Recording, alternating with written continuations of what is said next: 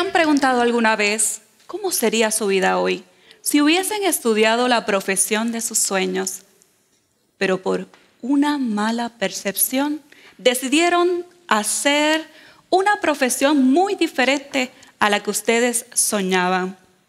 Y es que muchos de nosotros nos estancamos por diferentes percepciones que tenemos de la vida. Resulta que el cementerio está lleno de personas que nunca alcanzaron sus sueños por falsas percepciones. Y es que estas son esas cosas que nosotros nos idealizamos, que pueden ser ciertas como no pueden ser ciertas, pero la peor de todas es la percepción de que no somos merecedoras, que no somos merecedoras de alcanzar algo más, de lograr nuestros sueños y nuestras metas, porque desde pequeñas nos desinflaban y nos decían que éramos demasiado soñadoras. Y resulta ser que les voy a contar mi historia. Cuando era adolescente, yo decía que iba a ser una periodista, que quería estudiar comunicaciones y en el proceso de escoger la universidad, por error, comenté a una persona mis deseos de ser una comunicadora. Resulta que me infiltró en mi vida la percepción de que iba a ser muy difícil poder encontrar trabajo. Así que con esa información conecté con la percepción incorrecta. Finalmente decidí estudiar administración de empresas, lo que me llevó a comenzar a trabajar en una institución financiera. Por muchos años serví con mucha pasión, pero había algo que no encajaba en mi vida y era que no había conectado con eso que mi corazón siempre decía que quería. Quería ser una gran comunicadora. Pasaron muchos años y un día estaba con una compañera de trabajo en el piso 7 de la empresa para la cual yo laboraba. Y me acerco a ella y le digo, mirando al horizonte, porque yo soy así media dramática, yo no pertenezco a este lugar. Así mismo. Ella se me quedó mirando asombrada porque dijo, esta se volvió loca. Ciertamente, había algo que todavía nacía en mí que yo no había encontrado. Semanas más tarde, la empresa me galardona con un premio, muévete al éxito. Muy bueno, pero hubo algo que sucedió inesperado. ¿Y quieren saber qué fue? A varias semanas, un día se acerca mi supervisor y me dice, Yamili, te tienes que ir. ¿Cómo que me tengo que ir? Sí, ya no puedes trabajar con nosotros. En una hora te veo en el cuarto frío, como yo le llamaba, al lugar donde despedían a todo el mundo. Y antes de yo ir a ese cuartito frío, yo comencé a decirme, ¿Qué fue lo que pasó? ¿Por qué me pasa esto a mí? 16 años, 3 meses y 7 días viviendo para el sueño de otra persona y estoy despedida. Entro al cuarto frío, comienzan a llenarme la carta de, rechazo, ¿verdad? y yo comienzo adentro de mí a decirme, no puedes llorar. No puedes llorar, no puedes llorar, Yamili, no puedes llorar. Termino firmando el documento de despido. Y comienzo a generar una energía, una valentía que yo no me explicaba. Y le dije, muchas gracias. Muchas gracias. Pero allá afuera hay gente esperando por mí. Yo no sé cómo fue, una premonición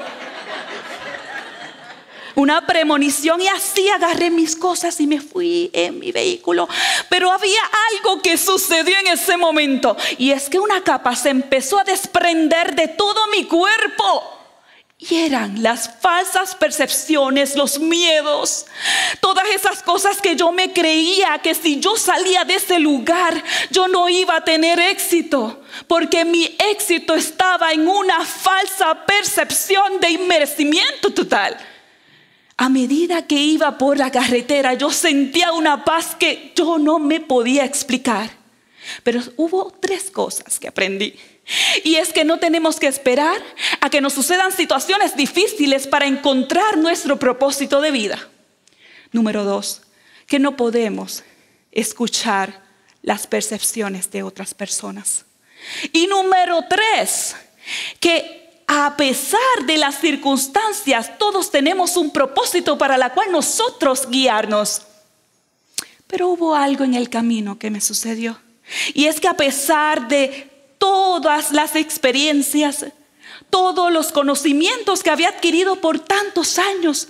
Yo no me creía aún capaz. Yo no sabía en dónde estaba, pero tuve que trabajar con mi merecimiento. A lo largo del tiempo descubrí otra cosa. ¿Quieren saber qué descubrí? Sí. Que había muchas mujeres que tampoco se creían el merecimiento. Imagínate que cuando a veces le decimos a una mujer, qué bonita te ves, yo me veo bonita. ¿Cuántas veces nos han dicho, qué bien has hecho su trabajo? Y tú le contestas, ¿en serio? ¿Verdad? Es entonces cuando no nos creemos capaces de conquistar lo que merecemos porque nos dijeron de pequeña que no podíamos soñar en grande, que las profesiones que tú podías soñar eran para algunas personas, no eran para todo el mundo, que te podías morir de hambre si querías ser artista o si querías ser comunicadora como yo.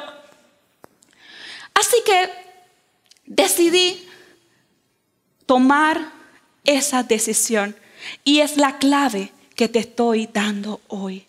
Comienza a decidir merecer. Comienza a decidir soñar. Comienza a decidir que puedes tener una mejor relación. Comienza a decidir que puedes tener un mejor empleo. Comienza a decidir que eres capaz de conquistar eso que tú soñaste. Hoy yo quiero dejarte saber que sí es posible cuando transformas tu mentalidad del no merecimiento al merecimiento. Que la historia que te contaron no es verdad que tu verdad es otra, que tu verdad puede ser mucho más grande de lo que tú te estás imaginando y no te crees capaz ni siquiera de soñar.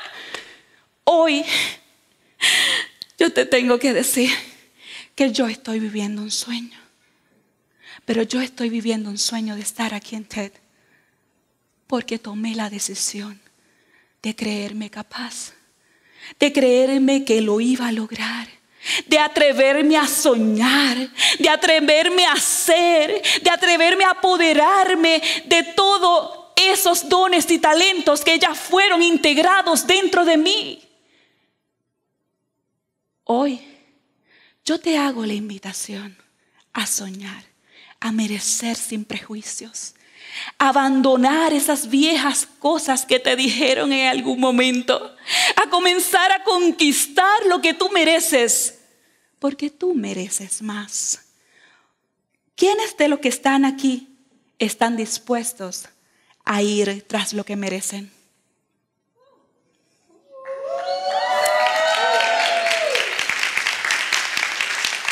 Estoy segura que no solamente vas a conquistar ese negocio que tanto tú sueñas. Estoy segura que tú no solamente vas a conquistar esa relación que tú tanto estás soñando. Estoy segura que te puedes conquistar a ti. Que puedes conquistar lo que tú eres. Que puedes conquistar tu esencia, tu valor, tu valentía. Todo lo que tú eres lo puedes conquistar. No escuches esos ruidos comienza a escucharte a ti. A ti que eres merecedora, a ti que puedes ir por más, a ti que eres una mujer increíblemente extraordinaria. Ve tras lo que te pertenece y ve tras lo que tú mereces. Muchas gracias.